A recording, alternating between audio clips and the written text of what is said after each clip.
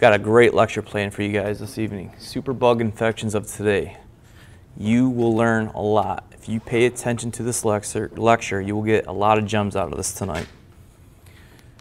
As usual, for those of you who came out tonight, I will do a question and answer, um, not record it. My giving back to you for coming out this evening. Um, and maybe even getting some muscle testing. I'll be talking about some cool things at the end about muscle testing that we kind of correlate with some of the things that I'm going to go over with infections as well today too. My mini lectures. Uh, we are all the way to September, October. October, uh, I'm going to do a cancer prevention lecture that is not recorded. I'll go over that flyer next slide. And I'm also going to do a movie night in October as well. Uh, November, December, I'm going to take those months off. In 2016, I might change things around. Might take sometimes I kind of go every other year as far as the mini lectures go. Uh, the mini lectures are not recorded. They're mostly in office or sometimes at the Novi Library if I do the movie nights. Things I like to say that I don't want recorded, that's where I'm going to say most of those things at. So moving along, cancer prevention, it's time to rethink pink. That will be next week, Thursday, at the office, not recorded, October 8th, uh, 6 to 7 p.m. Kind of go, gonna go over some of my old cancer lecture stuff and incorporate some new things at that lecture. Should we be focused on the cure or the cause of cancer? Next month, October Breast Cancer Awareness Month. Everyone's going to be running around in circles running for the cure or the cause. If the cure was out there and the pharmaceutical companies were so focused on the cure, there wouldn't be any money. The money's at the treatment of cancer, not the cure. We're running for more false hope than anything. And you'll understand these charts that I've showed at the past lectures over the last five, six decades, the uh, rates of cancer deaths have not or have have not decreased compared to your heart disease and other medical conditions, and yet all the money being donated to medical research and all these other corporations and you know uh, run for pink type things has not benefit us as a whole.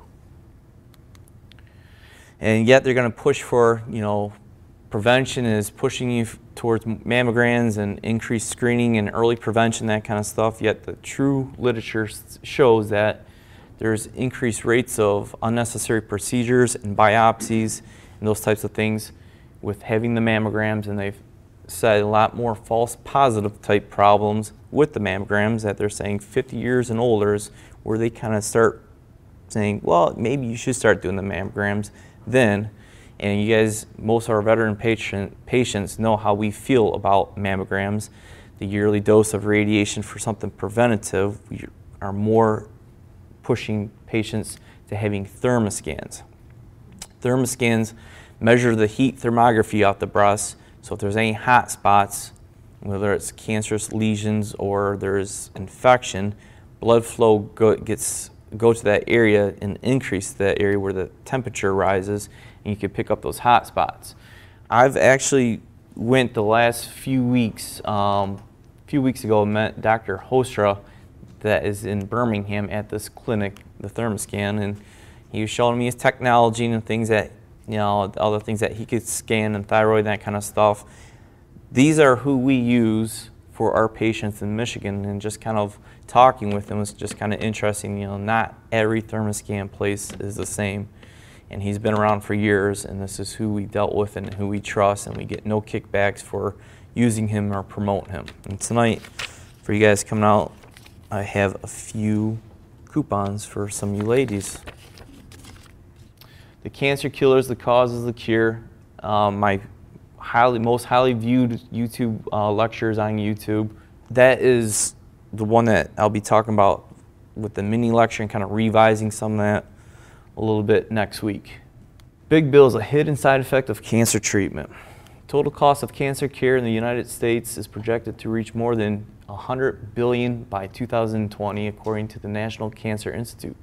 The U.S. Centers for Disease and Control and Prevention released a study last year that found that compared with com people without a cancer diagnosis, cancer survivors are less likely to work and more likely to struggle financially. Another study out of Washington State found that the longer a cancer patient survives, the higher the rate of bankruptcy. These medical bills are bankrupting people, not just cancer, and yet cancer medications are going through the roof year after year. Going through the roof, and it's to the point where seniors today are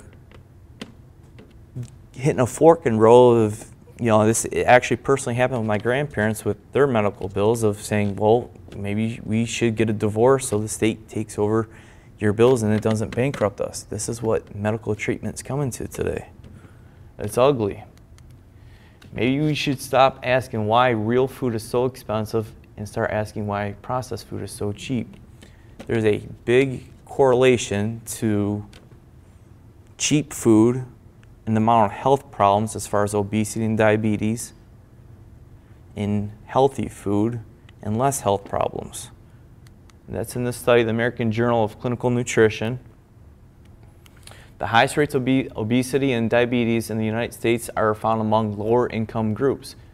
The observed links between obesity and social economic position may be related to dietary energy density and energy costs. Refined grains, added sugars, and added fats are among the lowest cost sources of dietary energy. They are inexpensive, good tasting, and convenient. In contrast, the more nutrient dense lean meats, fish, vegetable, vegetables, and so forth cost more.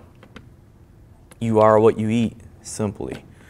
Um, the movie Food Inc., I've always, you know, anytime I've done weight loss talks, I've always talked about that documentary Food Inc., showing a guy going through the drive through He's got diabetes, he's got a family of four, He's got on all these medications and he's crying because he can't feed his family on 20 bucks. He could go through a drive through a Burger King, feed his family, yet he goes through a grocery store and you try to buy 20 bucks worth of healthy food. It's not there anymore. It's a whole different age today. My January lecture, I'm very excited for this lecture. Very, very excited for this. My mini talks, mini lecture talks about the paleo diet I'm going to take what I do with the paleo diet, I'm going to incorporate it with Dr. Tent's clotting factors and heart stuff that we both work with in the office. And I'm going to put a twist of functional medicine on top of this. This lecture is going to be awesome, and I'm very excited to bring this in January.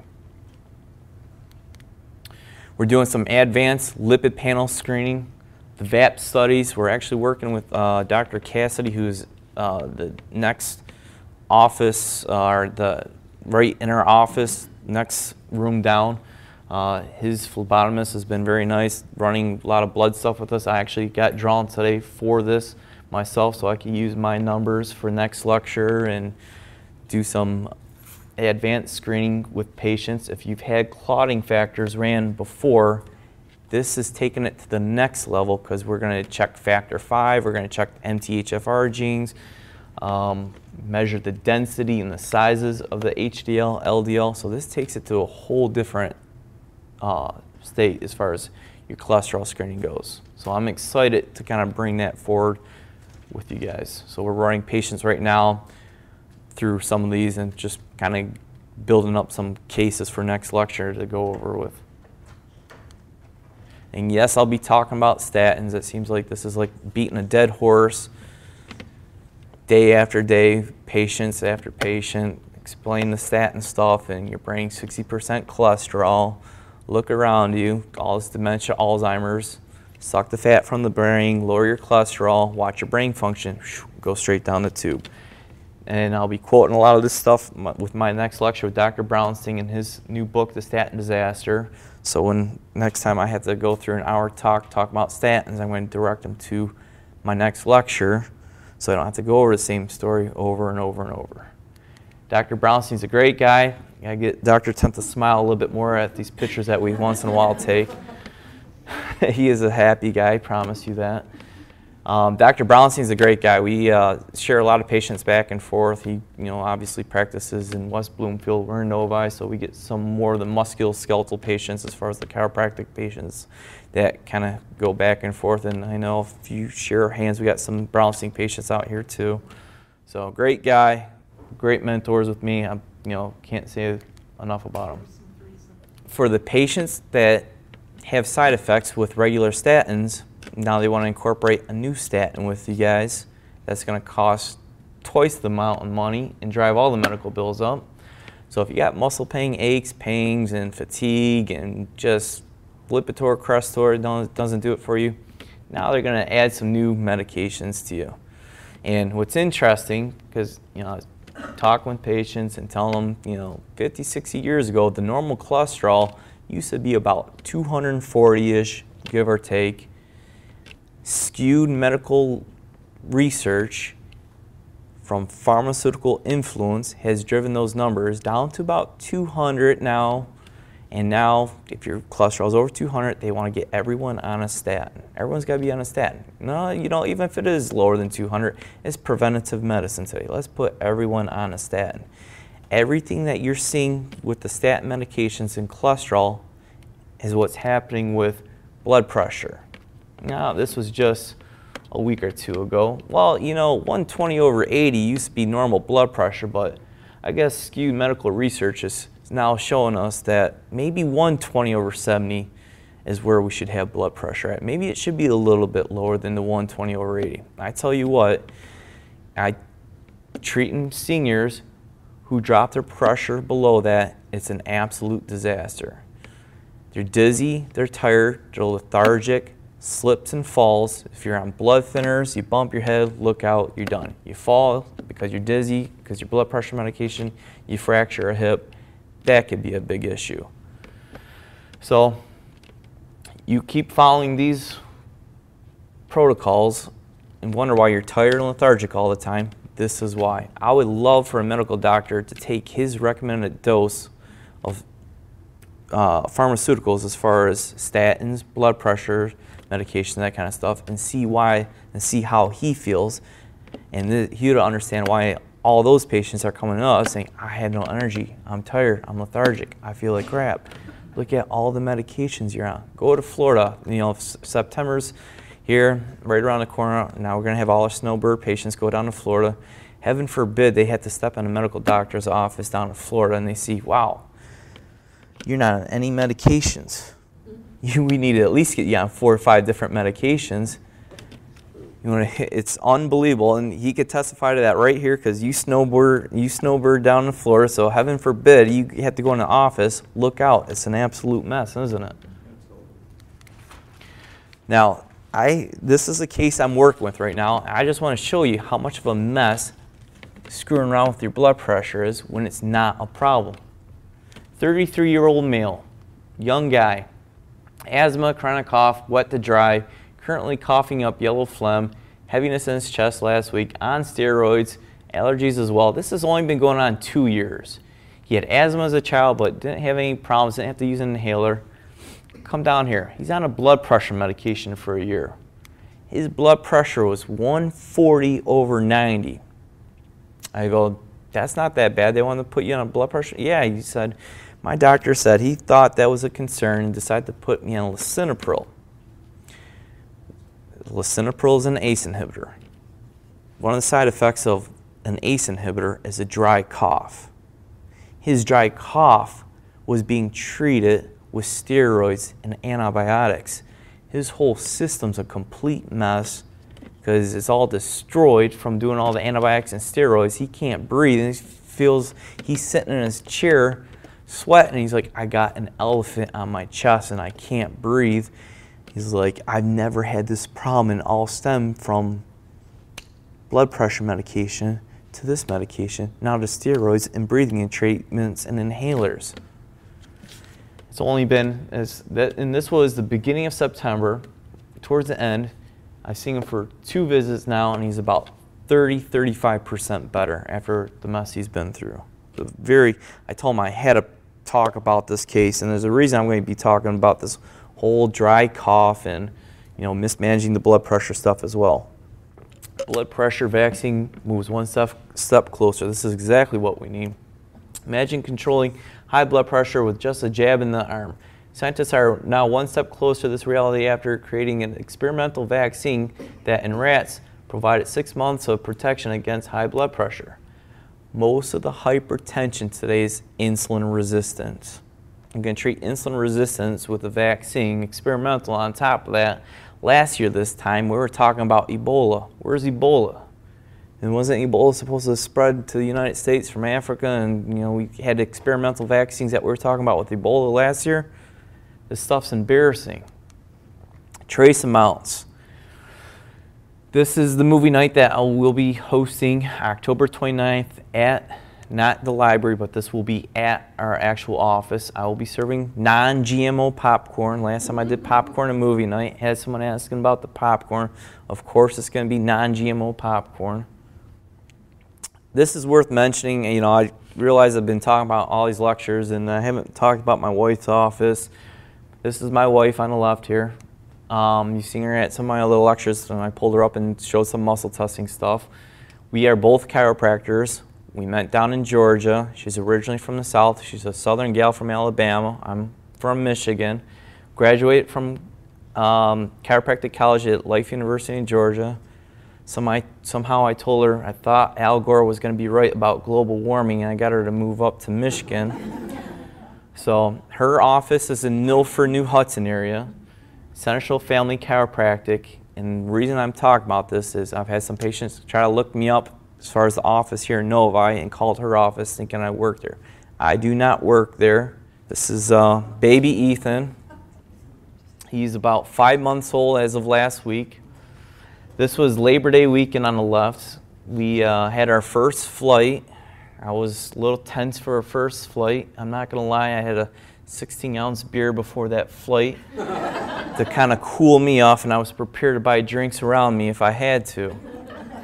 He was so good on that flight that people were asking me, Your baby's so good. What are you doing with him? I'm like, I'm crossing my finger. I got a connecting flight. This is just the first one here. So he did great. Now, talking about flights and ears and headaches and pains, is when I was a kid, my head hurt like crazy and I hated going on planes. I was so full of strep bacteria, and you hear these kids aching and complaining on an airplane. They are full, so full of strep bacterial issues in their ears. This is why they're in pain. Milk and ice cream feeds those infections. I'm going to talk about staph infections tonight, strep infections. I'm going to talk about viruses. I'm going to talk about yeast infections. Going to tell you, if there are certain things that feed these infections, you'll never get over certain infections if you're constantly feeding them.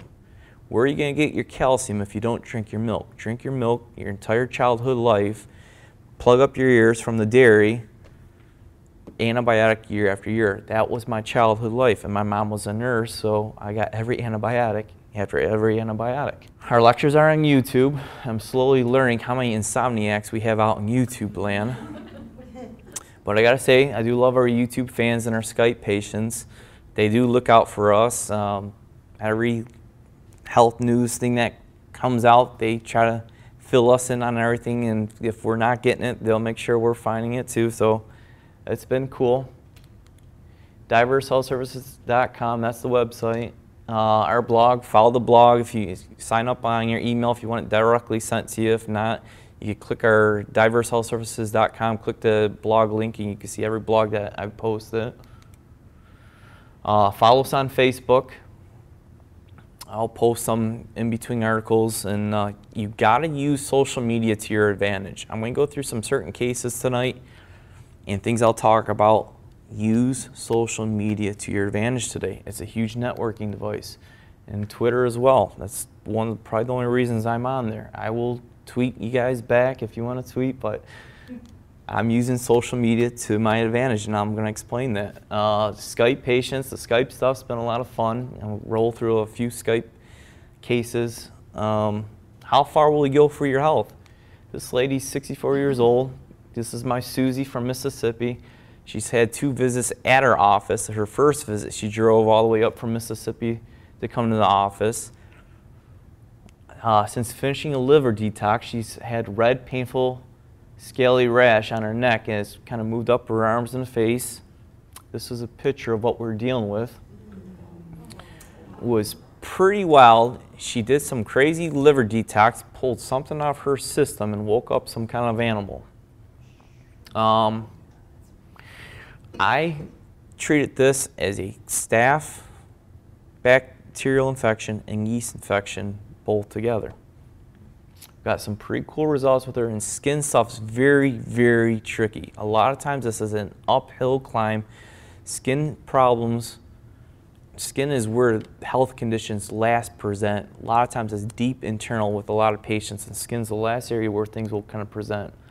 She had a, we were following up, going through Skype, and um, a month or two later, she's looking great. Things are doing pretty good. She had a little bit of a backtracking issue on her when she was drove up to the office and some diet stuff uh, she slipped up on and some of the stuff started breaking out on her wrist again. But when she was in the office just last month, this is her. Night and day difference. So last lecture I was talking about getting into a lot more functional medicine testing. So I'm going to talk about some intriguing cases and how we're slowly incorporating some of this with some trickier cases, uh, patient cases tonight. So it's an eight-year-old male. Mom would like to get him off Concerta. His behavior is distracted easily, physically busy, obsessive repetitive behavior, deals with anxiety, better on medication during school. But mom's like, I'm scared of his personality. He's not my same son being on this medication. His mom has a purple heart, golden heart of how far she's going with her children's health and realizing, man, I wish I could start from the beginning and do like everything you guys talk about at your office, and yet I'm kind of started here now. I'm kind of backtracking from things that uh, have happened. Now, ADD, ADHD, autism, Asperger's, those types of things we like to run hair analysis with. His aluminum was up in high aluminum and some other things. I believe he, we were working with the lithium lithium deficiency with him too, uh, trying to slow him up a little bit. Um, but the, all uh, aluminum levels will mimic ADD, ADHD type symptoms with a lot of patients. These medications are being heavily, heavily abused year after year. More people are being put on these things, whether they need them or not. The college age kids are abusing these ADD medications. Girls love them because it keeps them skinny, curbs their appetite, and they can think. People want an edge over the next student in college. They're all abusing these medications. I trust me, this is the new animal of today. So we worked with heavy metals. We worked with some parasite stuff with them. You know, just a simple daily protocol. He's doing good. Trying to take it to the next level. Genova Labs. I've been doing the NutrEval kits with uh, some of these kids. Um, this is a combination of blood and urine analysis. So it runs through checking antioxidant levels, B vitamins, minerals, a little deficient on the zinc, uh, all the Bs. This is your number one deficiency of these kids today. The B vitamins, I guarantee you, are the number one deficiency with all the kids. Even adults too will have issues with this. Pop, tea, alcohol, diuretics, sugars, carbs, sweets, you will drain your B vitamins. Your B vitamins are water soluble vitamins that you do not store in your body and you need to obtain daily. And a lot of people are losing more of them than they're gaining them. So a few of these slides will be a little blurry. I had to stretch them out a little bit. Oh, that'll be the next slide. B vitamin deficiencies. These are your biggest symptoms as far as B vitamin deficiencies go. Weakness, fatigue, poor appetite, neuralgia, craving of the sweets, muscular soreness, headaches, insomnia, dizziness, energy issues. Energy is going to be worse in the afternoon. After meals the afternoon, it's going to be B vitamins. So roll, rolling through a bit more of his analysis, and this is where it gets just a pinch bit blurry. I had to stretch it, but I just want to talk you through it. This is a green marker, yellow, red. This is your vitamin A, vitamin E, CoQ10. The ones I have circled are plant-based antioxidants that he's deficient on. Glutathione levels are low, It gives me markers. Green's good, yellow needs some help as far as nutritional help, and red being more in a severely deficient state. The B vitamin markers, you can see the majority of the X's are in the red and some in one in the yellow. He was just severely deficient in all his B vitamins. Essential fatty acids, it measures your essential fatty acid levels, need for probiotics, need for digestive enzymes. It's a very, very cool analytical test, especially if I have an autistic child that can't communicate with me. And muscle testing will only get us so far. I'm going to get a lot more analytical and start running more of these NutrEval kits with these children. It checks malabsorption and dysbiosis markers, bacterial overgrowth, yeast, fungal yeast overgrowth, it checks your metabolism and your energy pathways as far as carbohydrates, fat metabolism, it has a neurotransmitter profile. This is a very analytical profile that we're starting to run with the kids. And I'm very excited to bring this forward. Uh, if you're interested in this for your child, or um, some of those things I've mentioned, as long as you don't have Medicare Medicaid, we could run them. It's a right around 149 out of pocket and insurance picks up the rest. It's a combination of blood and urine and I have a mobile phlebotomist that will go to your house and have this ran. Certain out-of-state patients I can't run this with, but check with me at the office and I'll double check into those. This case is an amazing case and this is probably a case why I will never retire from what I do. This girl 11 year old girl, Faith, from Oklahoma, is diagnosed with Rett's, which is an autism spectrum disorder. It's an autistic like reaction, and they just call it Rett's.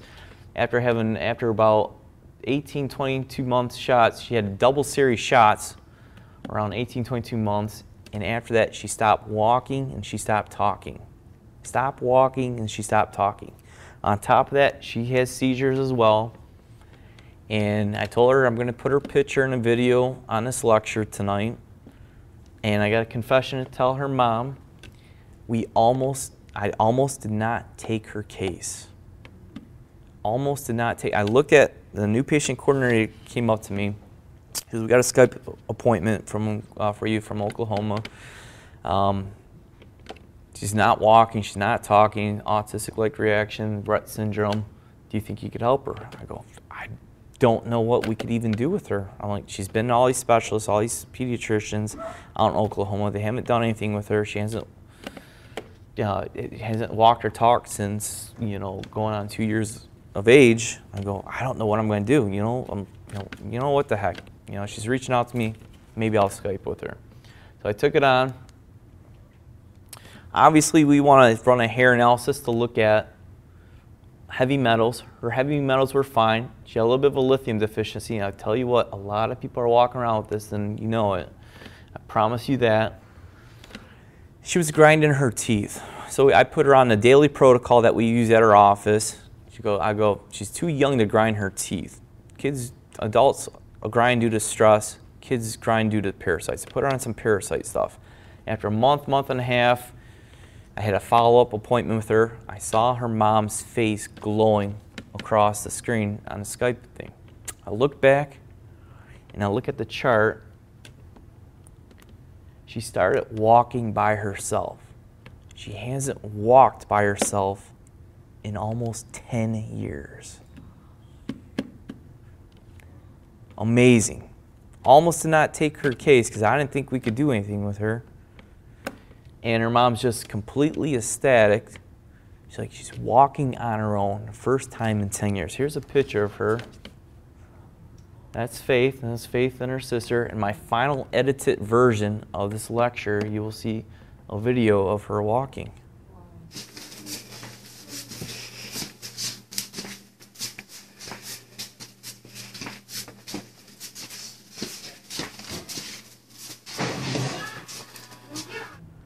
Awesome case. So, 1983, 2016. Look at the amount of vaccines and things that are being injected in your kids.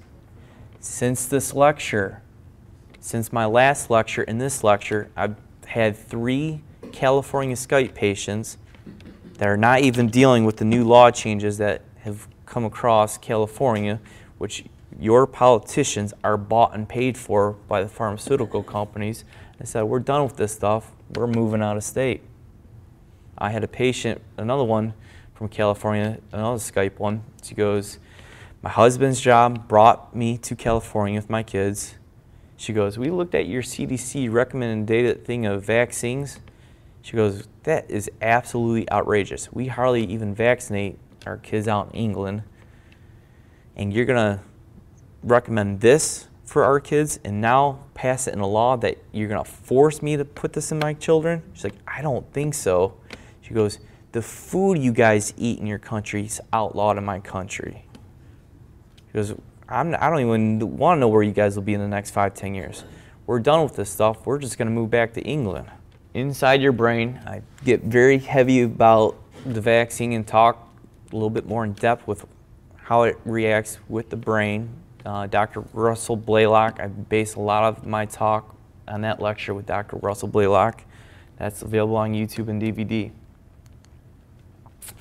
Dr. Bradstreet had a very questionable death. He was treating autistic children and he was getting an 85% improvement rate, turnaround rate with them. GCMAF, this is a thing that I'm going to talk briefly about. I'm going to let you do more of the research and I'm going to let you go down the rabbit hole. Last lecture, last lecture Dr. Tennis, we knew about some of the stuff going on and with some of these doctors coming up missing, we just didn't want to talk too much about it. So since it's kind of out there, I'm going to kind of put it a little bit more out there. You go down this rabbit hole and you search this GCMAF.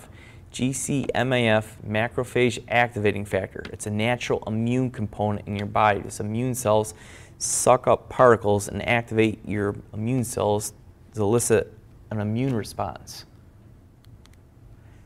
In a quick, simple nutshell, cancers, viruses, certain vaccines will increase a nagalase enzyme in the body. That nagalase enzyme uh, blocks GCMAF. It blocks your immune system. And Dr. Bradstreet was using certain GCMAF component, whether it was, it was injectable, sublingual, suppository, to reverse that nagalase enzyme and block or go back after the, your immune system doing injectable forms of the GCMAF reduces the nagalase enzyme and goes after cancers and viruses and was going after him helping these autistic children. Very intriguing stuff. Use social media to your advantage. Just go on your Facebook and search GCMAF and there's a group of about 3,500 people. It's a closed group that you've got to ask to join, and you could join that group. And you cannot find GCMAF in the United States, but you will find every single source and where it's at and how much it costs through Facebook social networking. That's all I'm going to say about it. You guys research the rest. So, what weakens your immune system? overuse of antibiotics, blood transfusions, vaccines, ibuprofen, operations, toxic environments, uh, prolonged stress. This is just a short list. There's certain things of Dr. Tent's lecture, when I'm talking about the viral stuff, that I want to reincorporate, reiterate, which was a great lecture, by the way, if you did not see his last lecture, Viruses Part 2. Part one is the autoimmune lecture. So everyone's asking, where was viruses part one? The autoimmune lecture was pretty much the part one. Viruses part two was we're an expansion with that. So here's the cell. Bacteria versus a viral cell. A healthy cell, bacteria grows around the cell. Antibiotics kill the bacteria outside the cell. Viruses live inside the cell.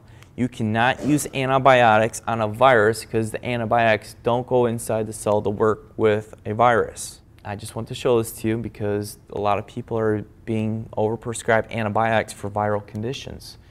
Antibiotics aren't always the answer. Antibiotics do not fight infections caused by viruses like colds, flus, most sore throats, bronchitis, and many sinus and ear infections. They will not cure the infection, will not keep people from getting, uh, other people from getting sick. They will not help you or your child feel better, may cause unnecessary, unnecessary and harmful side effects, and will contribute to antibiotic resistance. Viral bronchitis, these dry coughs, viral sinusitis, viral headaches, everyone's being overprescribed antibiotics today, and then the next route's the steroids. I will see a lot of springtime patients where I have to fix up their immune system because of this mismanagement of going after viral infections with antibiotics. Vitamin D is your number one preventative thing of the flu, upper respiratory infections, and small colds. Studies have shown that there is a link between vitamin D levels and the risk of getting a respiratory infection. People who have had low vitamin D levels tend to have higher chances of developing a respiratory infection. That's the vitamin uh, council.org. Vitamin D also works greatly with seasonal affective disorder because that vitamin D component is a precursor to uh, serotonin levels in your brain. So keep the D levels up. Full spectrum lighting absolutely works with the people that get that seasonal affective depression during the winter. Fluoride based antibiotics. There was a, supposed to be a patient here tonight that I was even going to draw him up on the spot, talk about his nasty side effects that he's had from about a month and a half ago with Cipro. Cipro has garnered a black black box warning from America's FDA, which uh, the manufacturer has been forced to highlight the possibility that the drug can cause tendonitis, tissue swelling, tendon rupture, and muscle weakness on top of all these other side effects on the right. This medication is nasty and this should be used as a last resort. And I see too many people during the winter uh, Z-Paks and these fluoride-based antibiotics that are absolutely tearing them up. Your orthopedic surgeons are very on top of these medications because they're tearing up their shoulders, rotator cuffs, hips, knees, and destroying their joints. An orthopedic surgeon will cringe knowing that you've used long-term use of fluoride antibiotics on and off. Just like a urologist will cringe at patients using Motrin daily for headaches because Motrin will destroy your kidneys. Overuse of these antibiotics have been correlated with the MRSA infections, which is the antibiotics uh, resistant staph infection, as well as C. diff infection. C. diff attacks more, uh, attacks more of the gut and creates a lot more gut issues. And this stuff is serious. We are living in an antibiotic resistant state today. I had a patient, was going, it'll be going on two years, coming up, uh, be about a year and a half. She went in for pneumonia and she was mid to late 50s. She went in for pneumonia. They gave her um, Z-Pak and what else was it? She was treated for pneumonia. They gave her antibiotics. She ended up contracting C. diff. She turned septic from the C. diff, was put in an intensive care unit, and passed away. 50s. This stuff is serious today. You want to stay out of the hospitals. Deadly hospital infections will rise unless changes are made. Each year, an estimate of uh, 648,000 Americans develop infections during a hospital stay and around 75,000 die according to the Centers for Disease Control and Prevention. A new study from the agency concludes that hospitals need to make important changes or the rate of deadly hospital infections will continue to rise. You want to stay out of the hospitals. Simple procedures today aren't that simple anymore people are going in for surgeries and you will be put on an antibiotic whether you have an infection or not because infection rates are so high in the hospitals that they'll automatically just put you on one. I'll even be talking about the urinary tract infections at the end and how that's a hospital-induced mess as well. Andrew Fleming, his warning was back in 1945. Uh, Fleming could already see the future of antibiotic misuse. There is a danger, he said, that the ignorant man may easily underdose uh, himself and by exposing his microbes to non-lethal quantities of the drug and make it, them resistant. And we are living in antibiotic resistant and year after year trying to make stronger antibiotics. People are having more reactions to the antibiotics than they are to the infection and your body will not learn the infection and deal with the infection if you go after it with antibiotics after antibiotics year after year. Evolution of the bug, you can kind of see this chart. Kind of goes through the timeline of the staph infection from 1928 and just kind of showing how it's just increased and grown in the antibiotic resistant up to 2000 on this chart. And it's only worse now. Well, let's dip into the viral stuff. Uh, this is the viral panel that we like to run at the office. Epstein-Barr, CMV, herpes 1, 2, 6, herpes antib uh, antibodies, thyroid antibodies, and the parvovirus. IgG and IgM. You want both of those ran, and I'm going to explain the importance of why IgG and IgM are being misread today too. Epstein-Barr virus, best known as infection mononucleosis.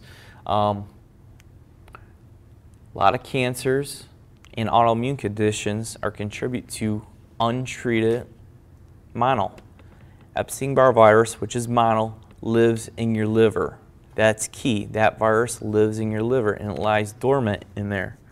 It has been correlated to MS. A lot of MS patients uh, have old MS or have old EBV titers with the mono stuff and have had a history of those infections. And that's very well known in the literature. You get the CMV, cytomegalovirus. The virus remains with you for life, but it's not always active. CMV may cycle through periods during which it lies dormant and then reactivates. If you're healthy, it remains dormant. Transmission of the virus occurs through expose, exposure to bodily fluids, including blood, urine, saliva, breast milk, tears, semen, uh, vaginal fluids, uh, not by casual contact. Now, both of these are liver viruses. What's going to aggravate a liver virus? Things that block your liver pathway. But I'll get in at the next slide. I kind of jumped one ahead. These are symptoms as far as acute and chronic CMV. CMV, EBV, herpes, uh, not herpes, but hepatitis A, B, C, all liver viruses. If you block your liver pathway, you will give life to those viruses. If you take too many antibiotics, if you take too many steroids, you take NSAIDs, ibuprofen, Motrin, Tylenol, antihistamines, antidepressants, pain meds, vaccines, blood transfusions, and antacids, block that liver pathway, you will give life to that liver, or you give life to that liver viruses. You block that liver pathway, you will grow cancer in your body as well too, because you're blocking your detox pathways. What else is going to feed a virus? Foods that are high in arginine will feed a virus. If you're low in arginine, or if you're high in arginine and low in lysine, you will give life to every bit of viral infection in your body. You get patients, and one yesterday, you know, thinking that she's got um, you know, some food insensitivity to wheat and peanuts and that kind of stuff. I was telling her the things you're eating is full of arginine and you're irritating that virus in your head, and that's what's aggravating your so-called viral headache that we're going after. Here's the key thing tonight with this lecture. If you deal with chronic viral infections, arginine will feed those infections. If you're a chronic bacterial person, dairy, and especially milk and ice cream, will aggravate those infections. If you're a yeast person, sugars will absolutely feed those infections. Low calcium, calcium herpes in the gut. Several top immunologists believe that the single most critical disease fighting element in the human cell is ionized calcium. If you are low on calcium, your viral stuff will flare up. Calcium and lysine, L-lysine, are your first two breaks to any and every virus in the body. Too much arginine, not enough lysine, not enough calcium, you'll irritate your viral stuff. This goes to people that even go in the sun too long and you're out in the sun, or if you're supplementing, this is key going in the winter. If you supplement with too much vitamin D and your vitamin D is going through the roof, you will suck your calcium levels low and your viral stuff will flare up and get worse. Our chronic viral patients always say, I feel worse being out in the sun for too long. It's because they're losing and depleting their calcium levels. That is absolutely key to understand with these viral infections today. Herpes 1, cold sores, herpes 2, genital herpes, herpes simplex antibiotics, low calcium, low arginine or low calcium, low lysine, high arginine, you will flare these things up in a heartbeat. Most herpes patients that get symptomatic lesions know the arginine list because these things feed those infections. Uh, herpes 6 infects nearly all human beings, uh, typically before the age of two. The acquisition of herpes 6 in infancy is usually a uh, usually symptomatic, commonly result in childhood fever, diarrhea, and a little bit of a rash. When it activates later on in individuals, MS, cancer, optic neuritis, seizures, epilepsy, fibromyalgia, AIDS, chronic fatigue syndrome, some of these things that they get called. Typically, the Epstein-Barr virus and CMV is one of the ones that I see a lot get pushed towards the whole chronic fatigue syndrome and fibromyalgia in a lot of patients. Shingles. Shingles is herpes zoster.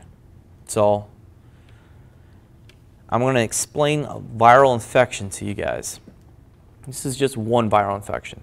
CMV EBV lives in the liver. Herpes zoster lives in the dorsal root ganglion, lives in your nervous system.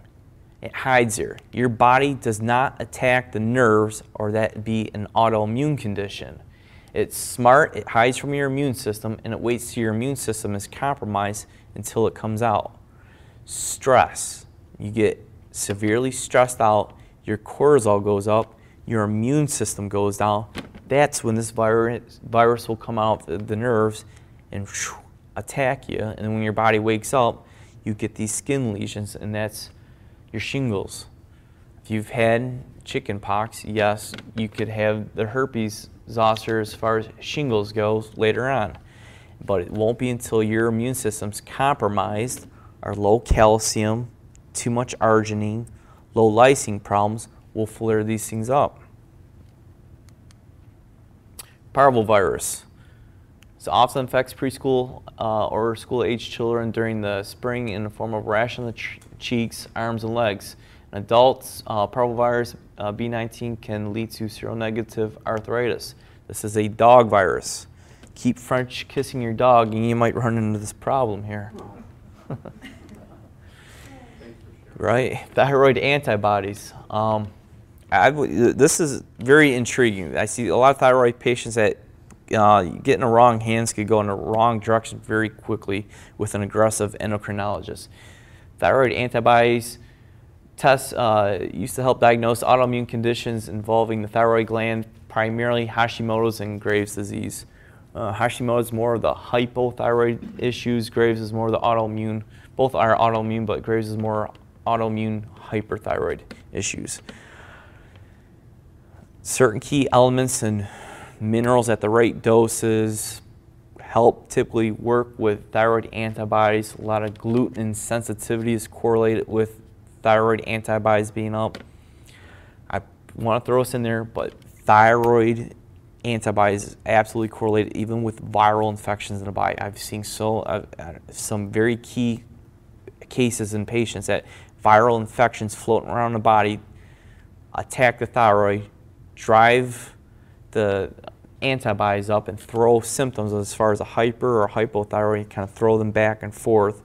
So viral infections could irritate that as well and you know attack that thyroid is key to know you know the muscle testing is you know when I talk about the muscle testing later on this is where the muscle testing really comes key in which direction how to treat these types of cases because not all of them are simple. Now IgG IgM IgG IgM antibodies IgM on any viral stuff, herpes 1, 2, IgM is an active infection.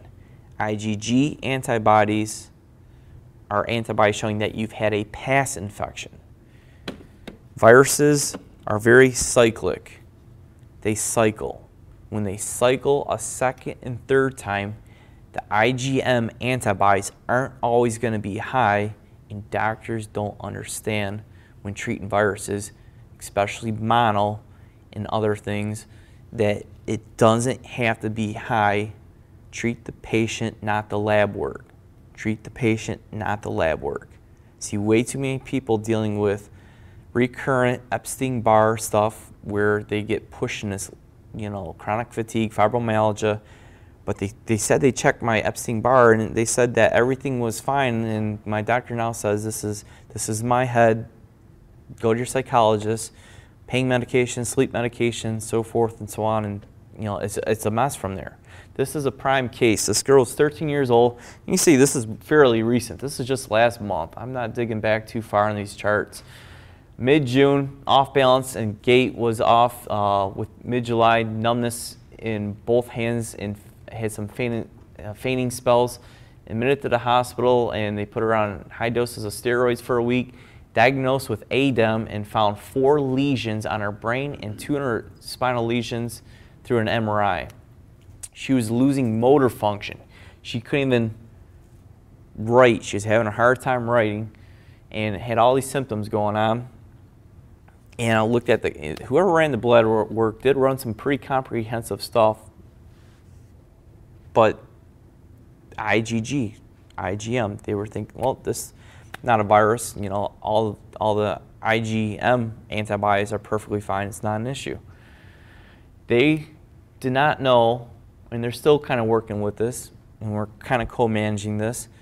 They did not know, they're thinking this could be pediatric MS or Lyme disease, because she had an issue with Lyme. Uh, she got bit by a tick, and uh, one or two of the antibodies were high, and her symptoms are all over, all, all over the place, and their neurologists are scratching their head. They came into me,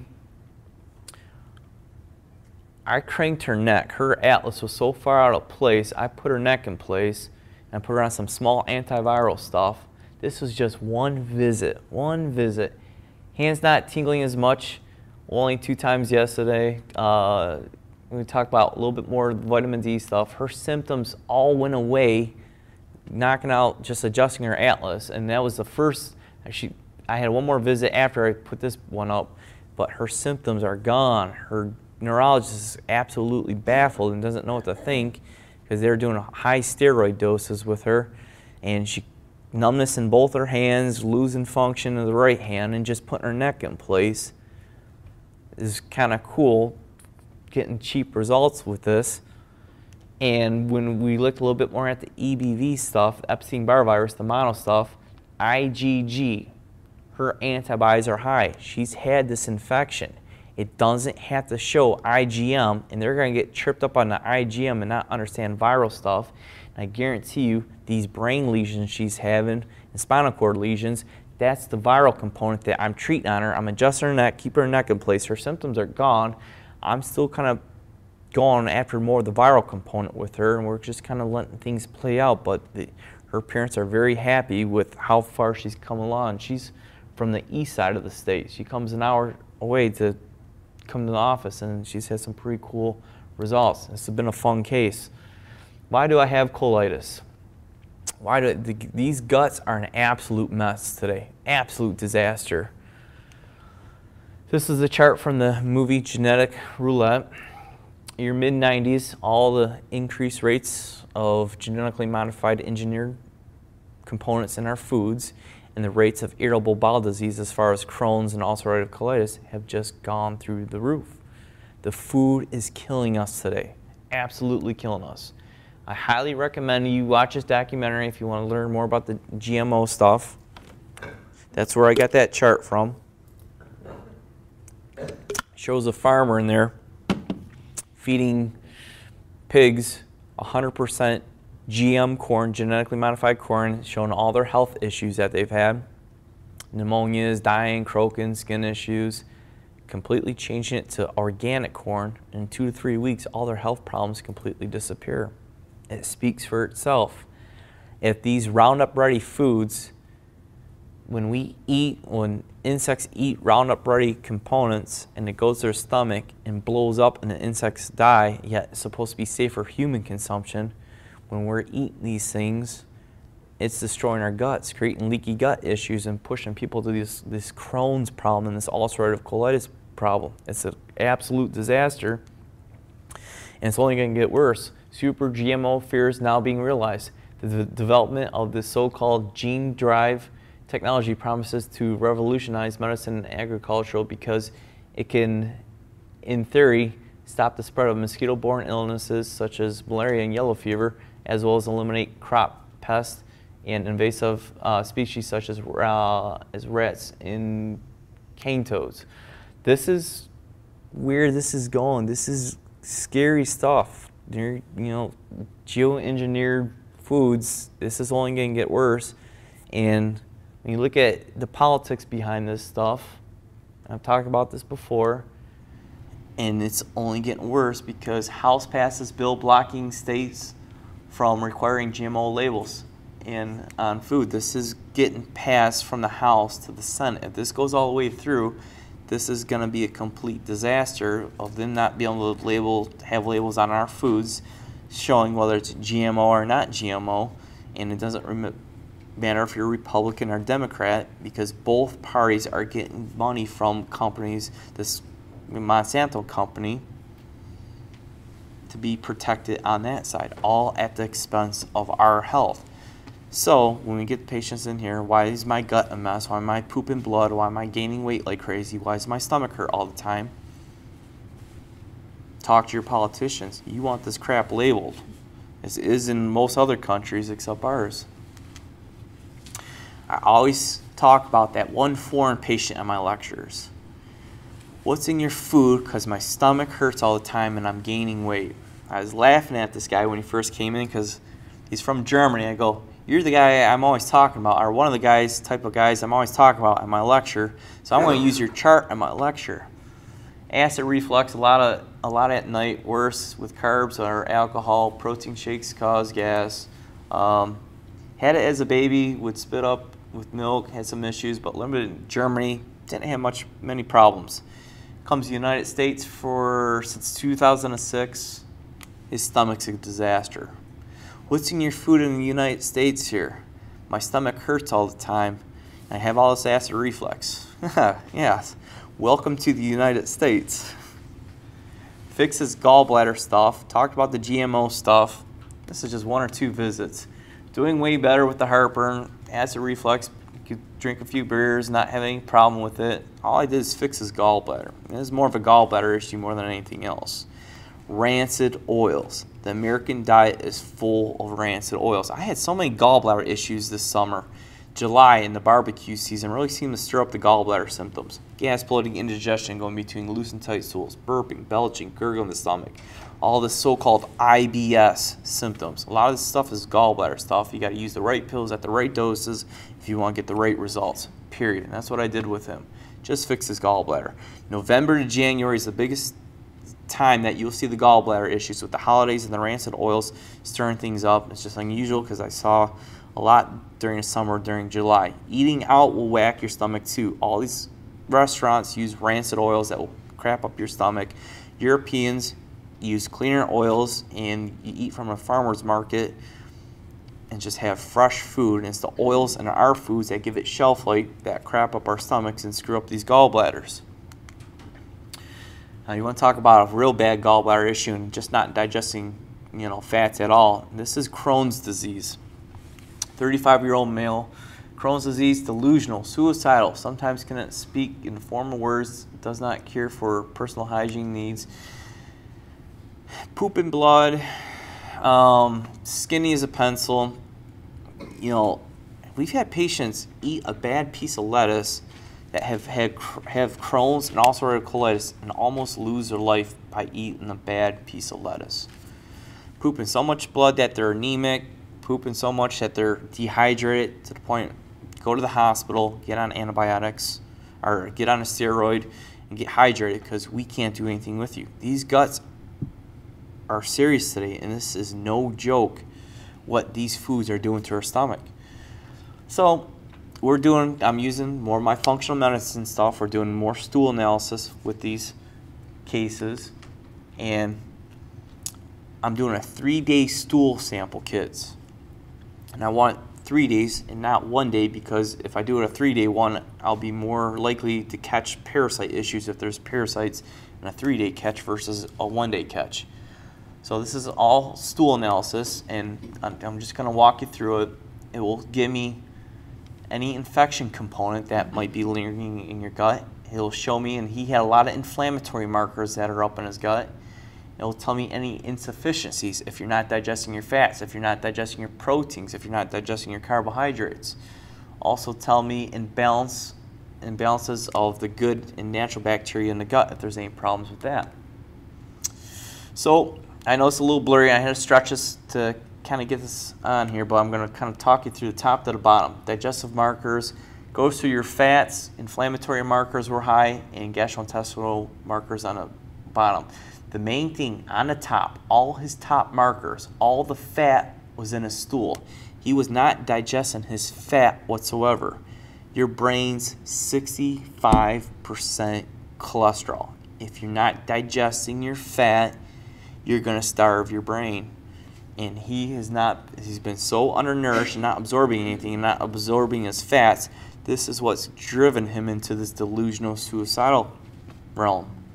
You have your gallbladder taken out. You won't digest your fats after having your gallbladder taken out and you'll run into this problem unless you're supplementing with the right supplements to help support you without a gallbladder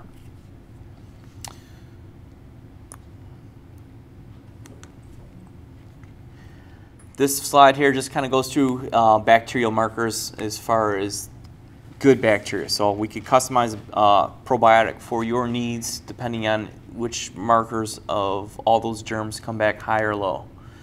Uh, other microbes look at good bacteria levels as far as the good E. coli in your uh, gut or additional. This Klebsiella pneumoniae has been popping up high in a lot of people that have been running this on.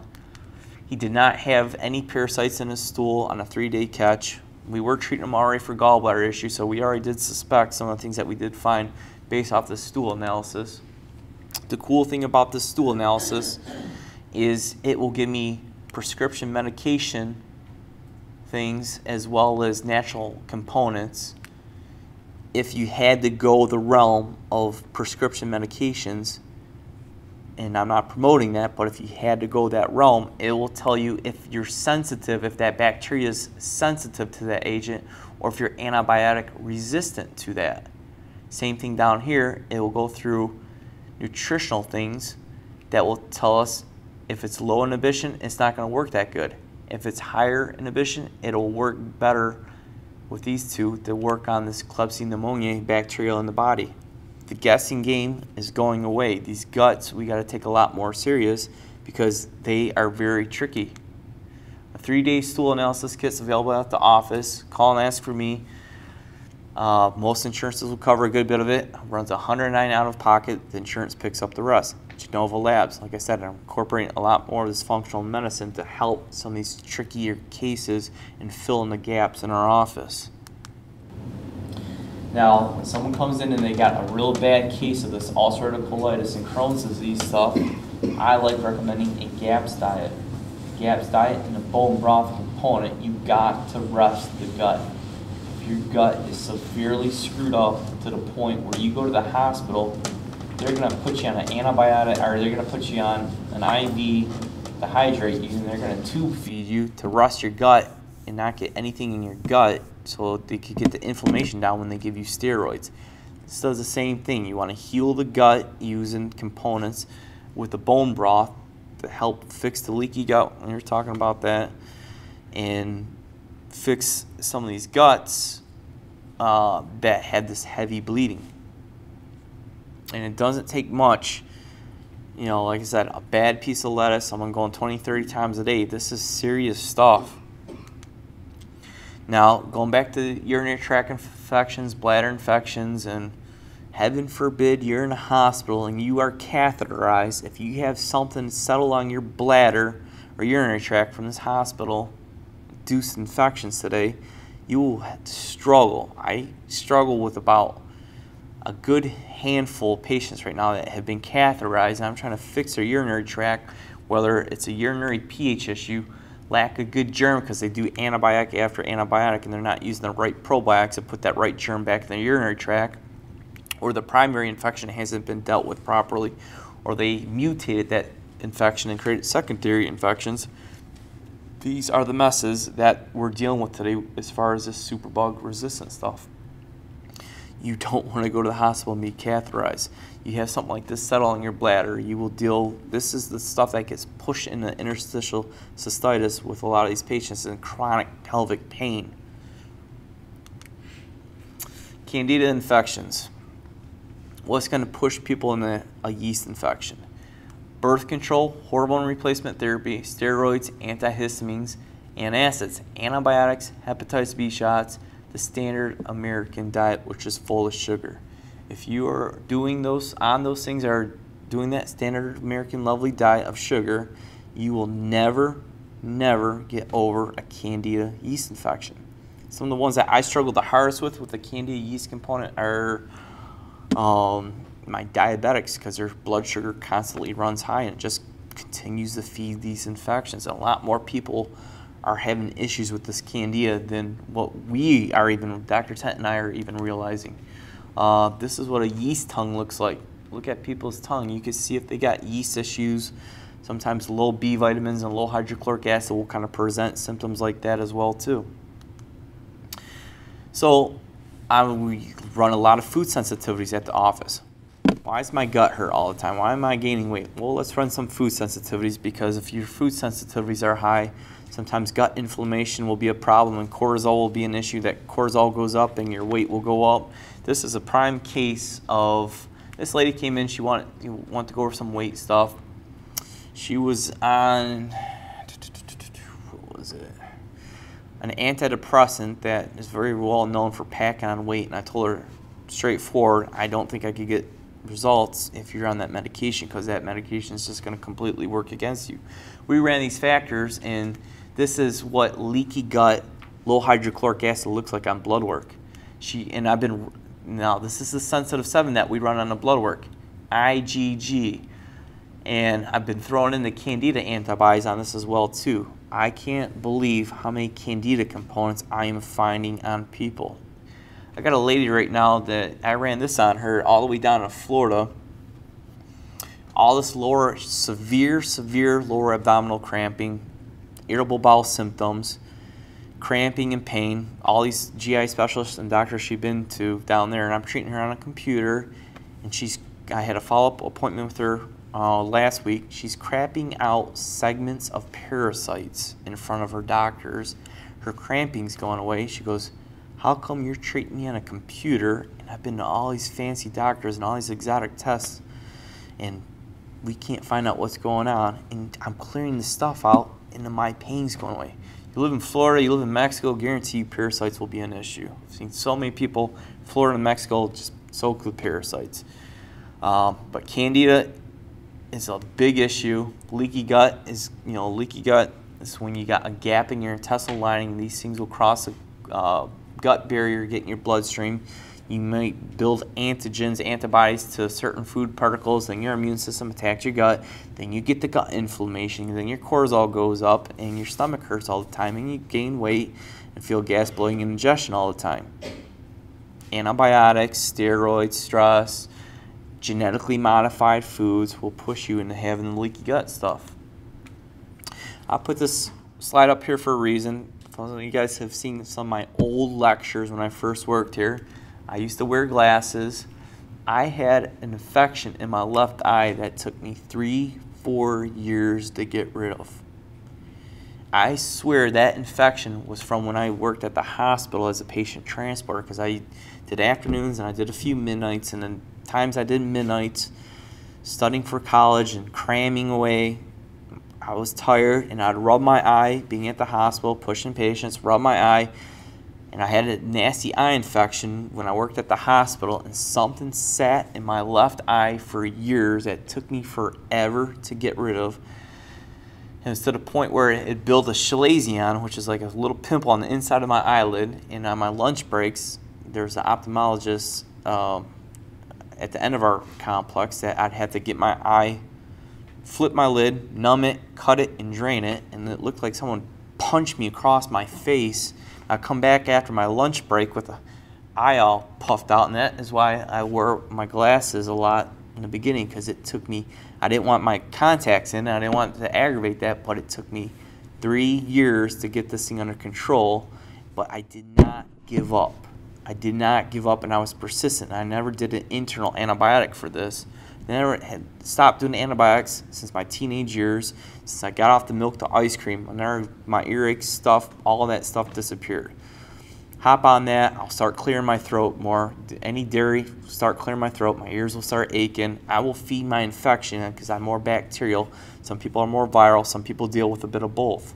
Learn your immune system. Know which way you are. Some people deal with both issues. It took me that long to get rid of that stupid thing, and it never came back. Yet people are going to not learn their body. You have to learn the infection. Your body has to learn the infection. If your body never learns infection, you will deal with the same infection year after year, antibiotic after antibiotic, destroy your immune system, weaken your immune system, and then acquire other problems. Your body has to learn the infection. I kid you not, I had probably two, three grand of supplements put in my eye that I was doing to get this thing under control. I kid you not. It's the first time I ever talked about how much I had an issue with that eye at one of my lectures. Your body has to learn an infection. Pathogens go into your red blood cells. Your red blood cells shoot out antibodies to go after these infections. But if you chronically do antibiotics, you won't ever learn the infection and you won't strengthen your immune system with this. As simple as that. I told a few patients I'll talk about Lyme disease as well. This is becoming very prevalent and it's very scary. Lyme is known as the great imitator as it can mimic many other disorders including multiple MS, arthritis, chronic fatigue syndrome, fibromyalgia, ALS, ADHD, Alzheimer's disease, and some other things. This is very prevalent and northeast of the United States. And I'm having a lot more people check these antibodies. Acute Lyme's, acute Lyme is easier to treat and reversible. Chronic Lyme is very, very tough. I've got a handful of patients that I set up in their own little network. I give them all their telephone numbers and share their you know treatment things and things that I'm doing with them along with some other integrative techniques with this. And I can tell you right now, nobody is getting great results when it comes to chronic Lyme. And if you want to shoot me an email and prove me wrong, go right ahead. No one is getting great results, and I've got patients doing traditional route as far as a port in them, doing antibiotics, one pushing two years straight, creating more problems on top of that in the long run. In other patients, 20, 30 grand in an alternative treatment, treating Lyme issues with hyperbaric treatment and infusions, IV um, blood irradiation, and all that kind of stuff. No one is getting awesome results Contact reflex analysis. This is the muscle testing that we do at the office. This is what helps me determine, you know, the clinical blood work. You could run blood work and all your lab work all day long. You will see all the infections there. Contact reflex analysis is the muscle testing that we use at the office that we will find the subclinical infections. Subclinical infections, you will have symptoms of things, but not necessarily always see it on the blood work. And this is how I differentiate, well, if the thyroid antibodies are up, I'm going to muscle test and see whether it checks for a virus. Maybe it checks for vitamin A with true hyperthyroid issues. You know, the muscle testing really helps guide me, especially with the Lyme patients, because the Lyme patients, some of their symptoms aren't always Lyme. It might be a staph infection. It might be um, mono acting up on it. The muscle testing tells me which direction I'm going to start treating the patient. Treat the patient, not the lab work. Clinical versus subclinical. Now, I tell you what, right now, the two most hidden infections people carry in their body are from their teeth and their toenails.